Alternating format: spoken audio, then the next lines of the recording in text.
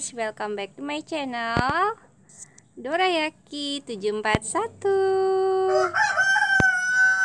Terima kasih ya kakak karena sudah mengunjungi channel Dorayaki 741 Nah di sini saya mau kasih tunjuk burung nuri aku ya kakak.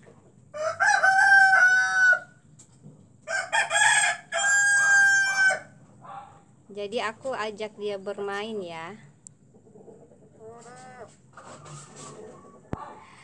Jadi di sini sekalian aku mau ngadain Q&A ya, question and answer. Aduh maaf, uh, ayamnya ribut banget ya. Jadi uh, banyak yang bertanya, ya. Uh, banyak yang tanyain ya, uh, kak apakah ekor burung nuri itu kalau misalkan dipotong akan tumbuh lagi. Di sini saya mau menjawab, iya, pasti akan Iya, pasti akan tumbuh lagi ya bulunya. Jadi nggak perlu takut. Seperti burung nuri aku ini aku udah berapa kali potong ya, bukan cuma sekali udah udah keseringan, tapi dia tumbuh lagi. Nah ini, ya kok ya. Tuh ya jadi uh, aku lagi temenin dia main biar nggak stres. Ya kok ya? Ya apalagi uh, tadi pertanyaan pertama apakah kalau bulu burung nuri itu dipotong tumbuh lagi? Iya tumbuh lagi.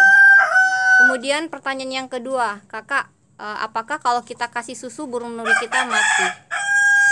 Uh, burung nuri kita tidak mati ya justru sehat. Ya Justru bu susu itu membuat lambung burung nuri kita tuh jadi sehat. Karena uh, susu itu adalah makanan yang karena susu adalah makanan yang berbentuk cair yang mudah sekali dicerna oleh lambung burung nuri kita ya. Jadi usahakan kasih susu aja sebagai makanan harian utamanya. Nah, terus ada juga yang bertanya kak, kenapa banyak yang bilang katanya kalau kita kasih susu itu burung nuri kita mati itu hanya teori yang belum terbukti kebenarannya ya. Hanya apa ya kalau dibilang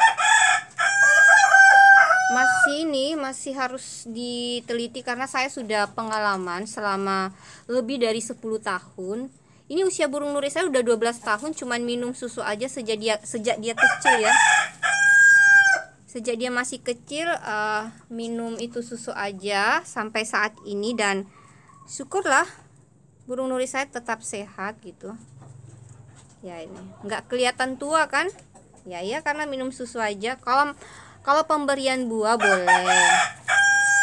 Pemberian buah boleh tapi cukup dikasih sekali-sekali aja. Tapi saran saya kasih buah pepaya atau semangka ya.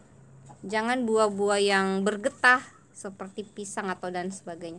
Cukup kasih pepaya atau semangka aja karena pepaya itu sama semangka banyak mengandung air ya dan tidak bergetah dan sehat juga. Nah, kemudian pertanyaan apa lagi ya yang ini? Uh, yang sering ditanyain.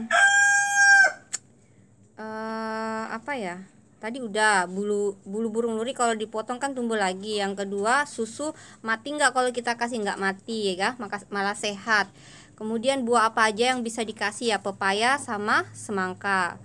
Kemudian apa lagi? Ya kemudian cara ini supaya bulunya bisa cerah cantik itu uh, kita harus mandiin ya. Mandiin tuh minimal tiga kali dalam seminggu minimal gitu. Dan maksimalnya boleh empat kali ya. Nah terus uh, gimana lagi ya? Apalagi sih yang sering ditanyain itu hmm, takaran sebenarnya aku udah buat konten sebelumnya tentang cara pembuatan susu bagaimana kemudian cara perawatannya gimana cara mandiinnya gimana udah. Tinggal searching aja di channel aku ini ya Dora 741 terus apa lagi ya yang ingin ditanyain itu? Sorry yang sering ditanyain itu apa lagi ya?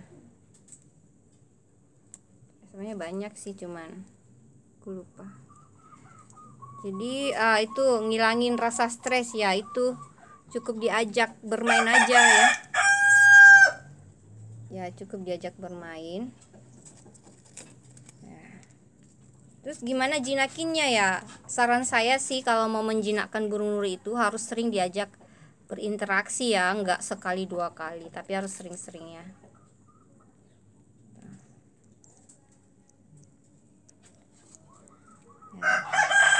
Kakak, uh, saya kira sampai di sini dulu ya. Semoga video ini bermanfaat. Terima kasih.